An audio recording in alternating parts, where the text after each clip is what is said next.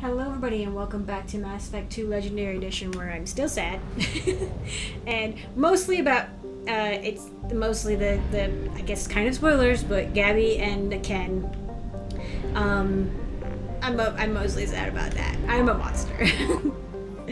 uh, that's that is anyway what it's what I'm going to be sad about in the future. But for now, I am I need to focus, and I'm just gonna do some resource gathering off screen for a bit because I need to level things up. I am not not even close. And it'll be it'll be kind of interesting. I don't think I've ever played Mass Effect 3 with this particular like outcome. And like I said, I'm not willing to risk um I'm not willing to risk the worst outcome, which is uh, losing the people that are closer to me. But I'm still sad about still sad about the crew. Rip the crew. um, away. So yeah, but I'm gonna try to do my best to do everything else as as best as possible. Hopefully the the suicide mission should go well. I usually do that pretty well. Although one time, oh man, I guess that's kind of spoilery. I'm gonna do I'm gonna do a little bit of spoilers. One time I did lose a Mordin, which was actually I think for my so I played through once with a male Shep um, because he was on the box art, and I was like, "Hmm, okay, I'm gonna play the box art guy, you know. And then I was a fool because I think I've said this before, but then I saw Thane in Mass Effect 2, and I was like, oh boy. Um, and so uh, I did end up starting Mass Effect 3 with that male Shepard, um, but I did not get. I got to like Mars, which is like the second mission, um, and. I was like, nope, I don't want to do this. I- You know, I didn't. I don't even think I got to Mars. I didn't even get to Mars with him. I got to Palaven, no, the Palaven's moon, whatever Palaven's moon is named, um, because I remember I was trying out um, Infiltrator, the sniper, the stealth sniper, and there's a particular fight sequence where like you're just thrown into the ringer. And there's like nowhere like I- the game isn't really optimized for a sniper like configuration. Like there's not a ton of like high ground options, not a ton of sneak options. You know, like it's just not. At least in my opinion, from what I experienced, it wasn't great. Um, so I ended up just being like, you know what? That combined with the fact that I really wanted to not play Mass Effect 3 without having rom- without romancing Thane, made me go all the way back and start over. And so then I played through um, my female Shepard and I played through one and two and then I recorded three. So I played three like 98% blind for YouTube and that was my first YouTube series. Um, again, I think I've probably said this all before and everyone's like going to sleep. But um, where was I going with that? I did have a reason to be saying those things. Um, let me find this system. Let's do this one. Um,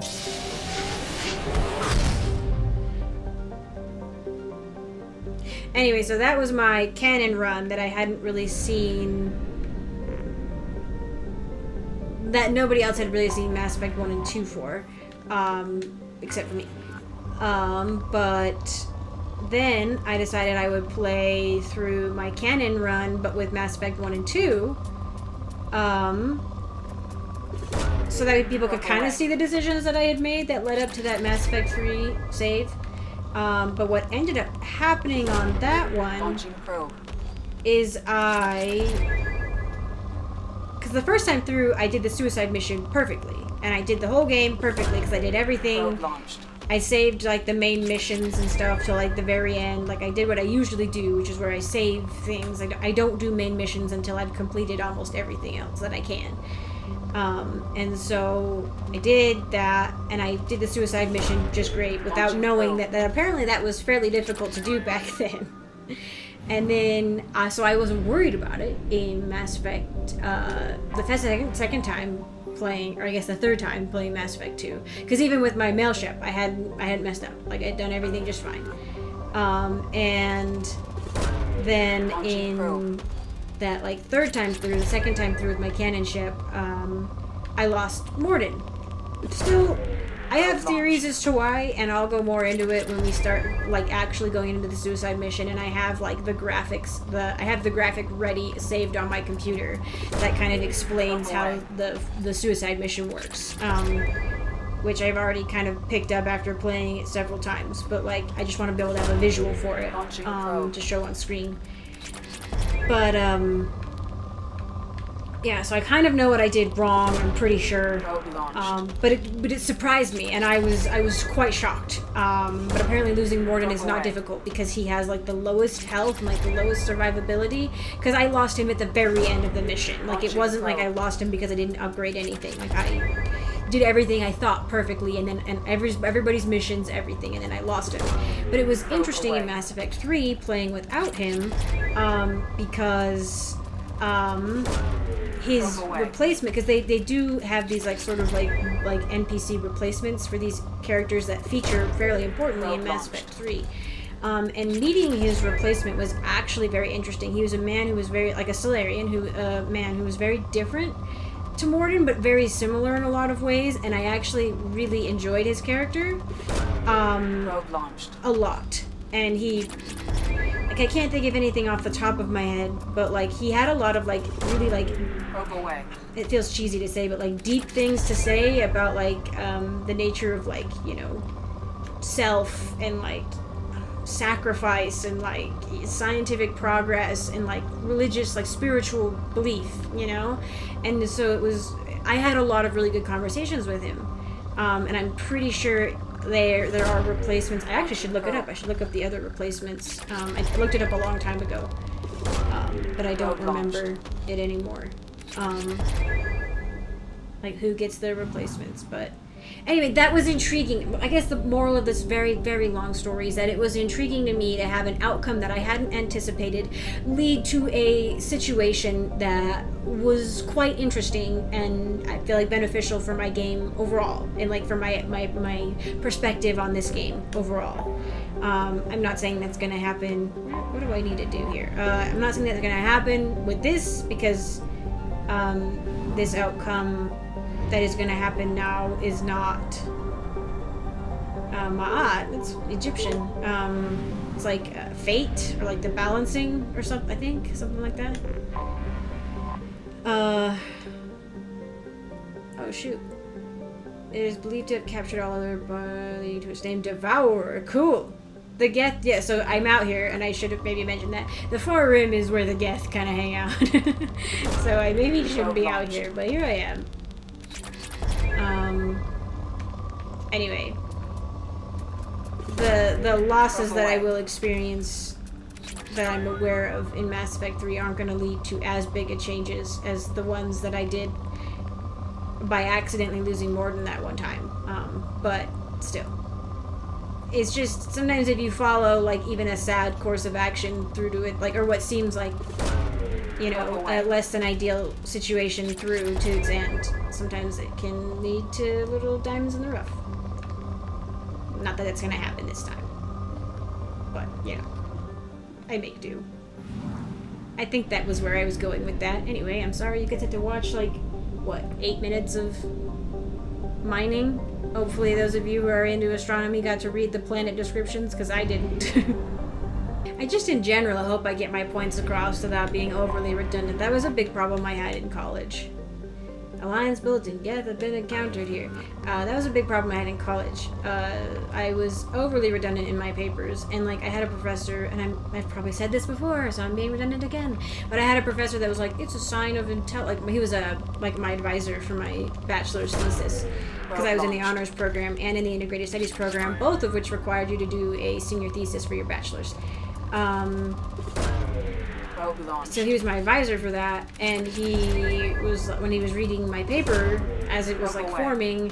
He was like, "I see that you kind of, you know, you say the same thing but three different ways." And he's like, "And that's actually, you know," and I'm like, "Yes, I know. I'm sorry. Like I, you know," and I didn't really see it that way, but I kind of, I did. Like I knew I was doing that, but I was like, I just want to get the point across, you know, and like specific you know it make sure that it, it comes across to everybody and he's like he's like no he's like i he's like i understand why you're doing it he's like it's actually a sign of um, of fairly high intelligence intelligence um because it means that you're like I, I don't know. It was something like you know like you can like y- you are approaching these topics that you're bringing up from multiple um, perspectives, you know, and trying to make sure your point is getting across. And I didn't believe him, and I still don't believe him.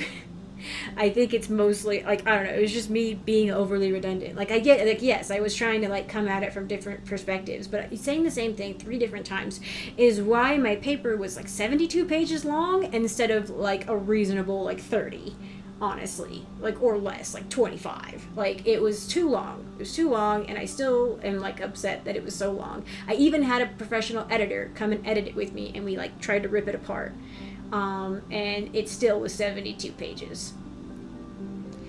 Oh anyway i'm so sorry. I'm just rambling today I guess I'll be the first to say I will go back and redo things I did in Dragon Age Inquisition. Um, because specifically, there were other reasons. But Solas was upset with me when I conscripted the Wardens in Dragon Age Inquisition. And I was like so worried. Because for one thing, like, yes, it was Solas and I was romancing him and I loved him and I wanted to, you know, I wanted you know him to be happy with me. I didn't want him to be upset with me, but I was also extremely concerned because to me he was like the pinnacle of like wisdom and like he like I respected his decisions a lot like and we were usually on the same page. And so when we weren't for that instance, I thought I was I was like I've done something very wrong. Not just because oh my boyfriend's unhappy with me, but because I was like usually we're on the same page and usually he knows more than I do. Like I I, I greatly respect his like, you know, his wisdom on most matters. And so I was like, I've obviously done something wrong. So I went back and I did this whole like intro on the video where I was just like, I know I wasn't, you know, like, I know I made this decision, you know, and I should just stick with it, but like, and I gave all these reasons and, you know, one of them, two of them were, you know, I was like, I respect Solas and I consider him very wise and like I usually try to follow his, you know, like guidance because I trust his opinion. Um, but also, I did say I was like, also I do, I do like him, and I don't want to have to worry about the, you know, the the not the dis disregard, but the displeasing, his displeasement. That's not a word. Um, but yeah, people were like, it's not that big a deal, but okay. I was like, okay. So like, I do, I definitely save scum and I've done it before in Mass Effect, and I've done it before in Dragon Age for things. But there were some things like in Dragon Age 2 where I, you know, spoilers, I guess, a little for Dragon Age 2, I brought Bethany down into um, the Act 2 finale? No, Act 1 finale. Um, where you go into the deep roads. Um, and luckily, I brought at least luckily for me, I brought Anders with me too. I had no idea going into Dragon Age 2 that, the, that bringing my sister down would be a bad idea, oh, but that bringing Anders along was the only way to mitigate the worst thing that could have happened. You know, uh, I just I liked Anders. I was romancing him, and also he was my healer. And I was like, I'm not gonna go down into the dark. Also, he was a warden. I was like, I'm not gonna go down to where the dark spawn are without the warden guy, and he's the one who got us the maps. So I was like, obviously I'll bring him, and obviously I'll bring my sister because we've been inseparable. You know, and like you know, I was a warrior and she was a, she was a mage. You know, she was a more combat oriented mage than I had Spect Anders.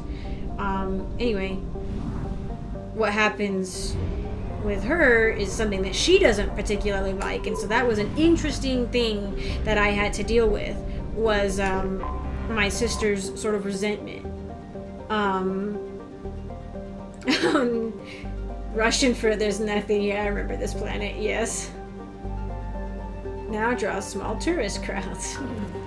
um, anyway, so following that, like, uh, sort of unhappy outcome through led to a lot of really interesting like dynamics at least in my head not necessarily in the game but like imagining how my Hawke felt and like how she interacted with her sister after that um, was really really interesting to me. Um, but if I wanted it to be like potentially perfect, although truly, if you leave your sister behind, like other things happen, you know. Um, but it's an outcome that she prefers, and in the end, even though she like wants to come along with you, and your mother's like, please don't take both of you along, and I'm like, mom, it'll be fine. And I should have known. I had no idea. I had no idea. I, I did not think the game would be so cruel as to potentially take your sibling away at the end of Act One.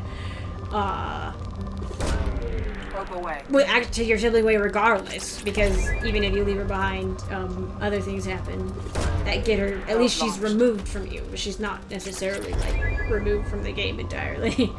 um, but yeah. Anyway, experiencing that made me think that you know maybe I shouldn't save scum all the time. But I am I'm a, I'm a major away. save scummer in a lot of ways because you know what it's my game right I can play it how I want and if I want to have the perfect happy outcome I can.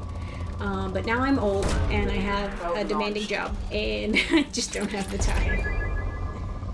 Maybe if I had started earlier in the week, but even then, like, I don't particularly want to. I don't particularly want to replay all that. And like I said before, I don't particularly want to have the issue with um, having Legion on the ship and then all of a sudden not having him. Like, the, the, the discontinuity is upsetting to me for, like, video uploads. hmm Anyway, wow. Maybe I'll edit out most of this. Who knows? Ooh, this is interesting. Okay, you know, was the first place human explorer also an anomaly detected here, so we're gonna scan and find it. So the first place human explorers discovered a dedicated Prothean burial ground. While a few sites were saved for posterity, Ed Eldfell Ashland Mining successfully lobbied to scout the rest of the planet, planet for Element Zero, and soon was embroiled in a scandal. Mining teams were looting grave sites, searching for eezo and other treasures, and many got rich off the so-called cemetery business. I'm gonna lose my mind. While EAM officially brought the stop brought a stop to the looting, as mining teams ran on the planet, prospecting the unclaimed territory. Yeah, armed conflicts had taken broken out between miners and scientists, taking claims on Prothean ruins. I can't believe that the um, this is actually something that I'm pretty sure that the uh, council would get involved in and put a stop to, let alone the um, Hanar, because Prothean ruins are sacred to them. Um, but yeah, there's no way the council would just let humans run around looting Prothean Prothean ruins, like the people that they thought were like the precursor, not like a precursor race necessarily, but like the race that came before and gave them so much technology. There's no way they would let them loot the burial sites. Like, and you're darn tootin' I'd be down there with a gun as a scientist, like, freaking, like, chasing off miners.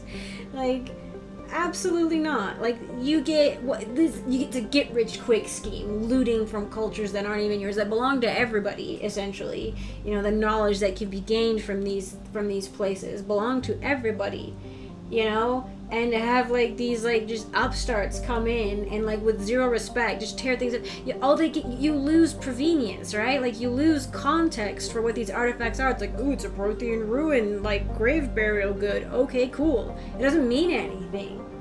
You know like without context of the things around it and like you know where and when it was found you know like you don't you don't learn anything from it. It's an entire like treasure trove of knowledge that's being like burned out essentially there's no way the council would let that happen Repeat, this Lieutenant Forza Bandejina, pilot of the scout ship Violet. Request immediate assistance. Launching the. Repeat, I have found something. Surface scanners show evidence of a shipwreck meeting quarry and design specifications. Identity of ship unknown. Number of life signs nearby unknown. Local wildlife may interfere with accuracy of biological scan. Investigate the and crash. You know what? We'll do that. That's something to do once I finish getting the resources from here. I'm pretty sure it's a Geth trap. Um, Launching probe. but I, I could be wrong. I don't remember every single quest or mission in this game. Probe launched. But in the previous game, stuff like this wasn't quarrying though. It was just like sometimes like crash sites were Geth traps. This also might. I feel like we've already encountered the one where like there's a. Prothean ruin, and like Shepard like gets to interact with the Prothean device. I feel like we've already done that. But there is one where you can do that. If we haven't done it, this might be that one. Oh dang! I'm all out of probes. Oh well. Can I not land without a probe? Land. Okay, here we go. His outfit does nothing much. We are gonna bring Legion because we have sacrificed much to have Legion, so he is gonna come with us on a bunch of these. Also, if this is a Geth trap, it'll be interesting to get his opinion on it. Oh, let's see. I haven't seen Thane in a long time. This is a double sniper squad. Not necessarily the best, but you know what? Okay. Let's see, throw. I don't have throw, so you can have throw upgraded. Perfect. Shepard, I want my missile launcher. Yep. Legion has the. I don't want to. I need to look it up actually if the collector assault rifle. I don't like the Mattock. I know that much. I think I'll give him the Vindicator.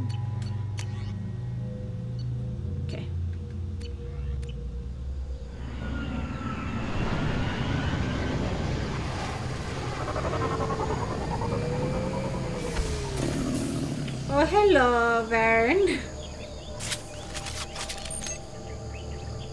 I am detecting a single Quarian life sign Oh, wait. location. Judging by the suit's erratic I'm a dum-dum. the Quarian is badly injured. I am also detecting multiple native life signs near your landing site. I'm bringing Tali for this. I'm, I'm an idiot. I wasn't sure if she'd say something there. Uh, but yes, of course I'm gonna bring freaking Tali for this. Also bringing Tali in Legion is hilarious and terrible. Uh, we managed to escape the death notice thanks to some clever work, but the strain on the old ship was too much. I'm afraid we might never see the fleet again. Landing was rough. We managed to survive. Unfortunately, Commander Kola didn't make it. We've scouted the landscape. Don't know who or what's taking them. but We've now lost more than half the crew who survived the crash. We hope to build a camp here to survive until the Idenna found our beacon, but something's hunting us. I have to keep the crew together as best I can. We will send out a search party when the day comes. I will find my crew and we will do whatever it takes to return to the Idenna. Okay, so it's not a trap. It's just a horror story. They're slowly being hunted. Also, is this planet not cool? Holy cow! Oh no, oh, Freak! I'm looking up at the sky. Oh my gosh. Quarian life signs are stabilized. I recommend securing the area in preparation for shuttle extraction. It wasn't just varren fighting you guys, right? Incoming hostiles. Where? Where?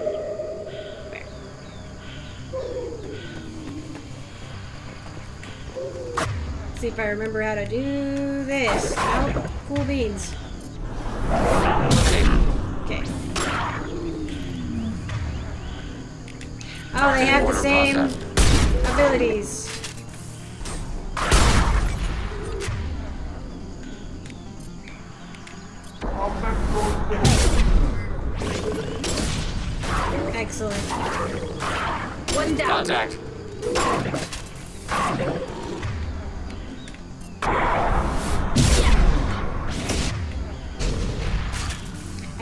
Those explosives, which is working out very well. Oh, you're dead. Okay. Aw, I can't. One down. hit it very well from afar.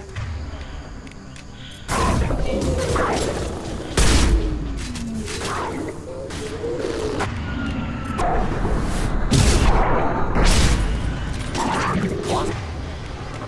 Range target to target process. Oh no.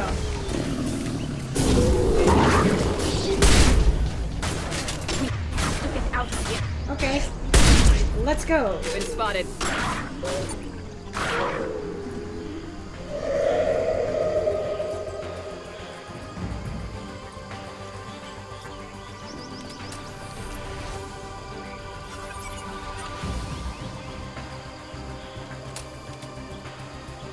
Was a very short planet side mission. Haha! Take that, you stupid dog! and Kick you in the teeth. That dog was like, what? received. Idenna inbound for pickup. You've done us a great service. Expect to hear captain. And I have Tali here, who still hasn't gone to do her exile mission. That was very short. I did not expect it to be that short. I mean, I vaguely recall that mission, but interesting. Uh, accept my sincere appreciation for your efforts in locating the wreckage of the Sinai. That ship has storied history with both the migrant free fleet and Cerberus. Oh! She the one that was involved in that, I think, the third book? You've returned to the flotilla, one of our newest and most honored heroes. Your efforts in furthering the Quarian search for a new homeworld will be remembered. You're welcome. Wow.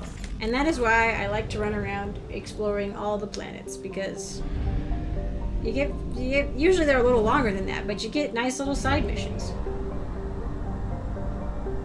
And I enjoy it. It's the only time you get to really land planet side. I mean, like besides like the main missions, right? Like you can't just like land like you could in Mass Effect One. So you have to find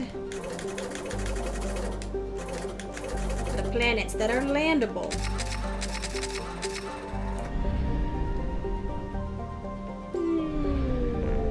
Now I okay. I'm just gonna keep looking around.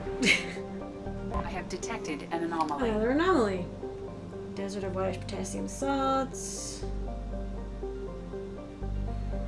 Oh, it's a criminal staging base. Oh, and this is a this is also a place where um this system is like a planet, a prison planet system. So that's cool. Welcome to it. Okay. That seems like something somebody wouldn't. I have found something. Okay. Interesting. I wonder if this is part of a DLC that I have not. that I don't know. Probe launched. I vaguely recall something about a mech. But usually mechs come with heavy fighting. Launching probe. I forget that Zaeed's also a sniper. I'm pretty sure. Pretty sure I just saw that. I am detecting a large supply of resources buried deep within the canyon walls. Heavy explosives will be required to excavate them.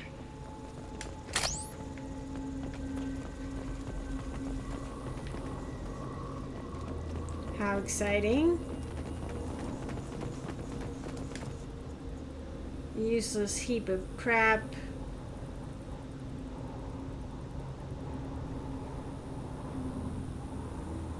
Now it won't even move. Bummer. Let's see. I feel like I get to fight some people in this thing too.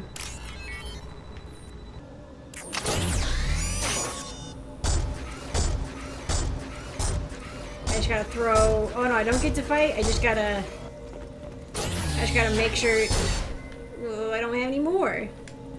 Do I? Oh, okay.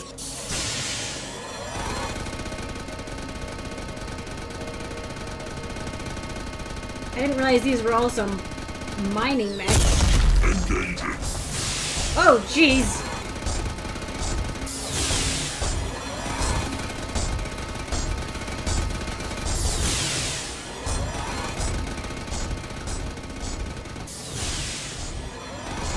Okay? Why are you firing behind you?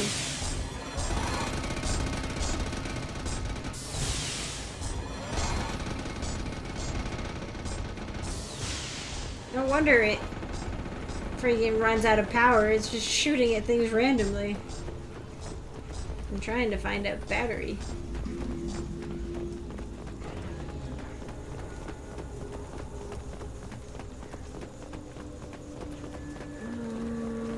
Target, negative Z axis. Whoa. Whoa, whoa, whoa. Where did my little bot go? Or did I get too far away from it? That all you've got.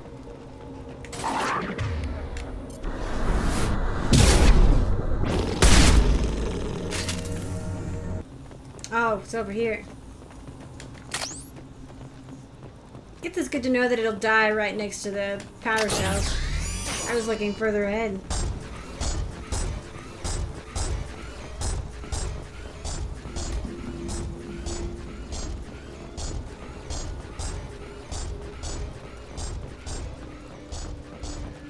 My name is Miner Shepard now.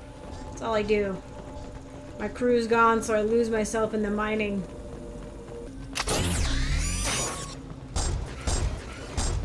Good. It's having a hard time.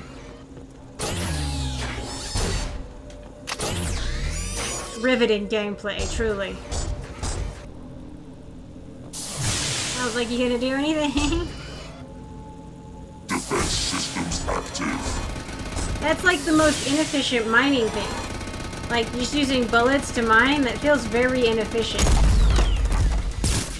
Oh no. Oh my. Oh, ow, jeez. Did Legion just say goodbye, or did the machine just say goodbye? What is this?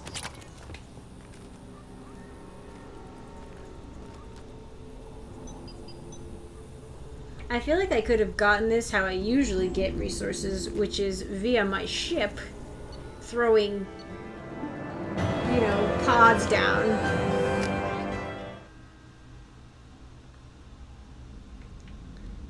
I'm gonna take this moment to level up my stuff. Not that you guys will have to suffer through it. Don't worry. Those were two very short missions. I need to go buy some more of these, um, like uh, the medi-gel capacity, damage protection, tech damage. So then I can get these modules. But I upgraded everything else that I could. SMG extra rounds, I think assault rifle, something or other. Got the med bay upgrade. Sniper headshots, not that that matters. Because my people don't do headshots as far as I know. Um, but I leveled up what I could. So... I don't have a ton of money. Uh, I think I'll take a break from this for now. I should probably go back to the Citadel at some point and buy some buy some of those upgrades. But um, for now, I'm gonna be done. Hopefully this video wasn't too incredibly boring. Uh, it was just me chatting and then two small missions, so um, I hope it's good. so thank you all for putting up with me. This ne the next one we'll do will be Kasumi's mission. I just got distracted with the talking during the the mining, so I feel like it was kind of weird to start a Kasumi mission after that. But we will finally start Kasumi's mission next time. So thank you all so much for watching. I appreciate it. Real quick, I want to say thank you to my patrons, to all my patrons, but to especially Reese Calito, my sapling tier patron. Thank you so much for your support, and Christopher, my tree tier patron. Thank you so much for your support. I really appreciate it, and I hope you're enjoying the game. So yeah, I'll see you all later, and I will see you in the next one.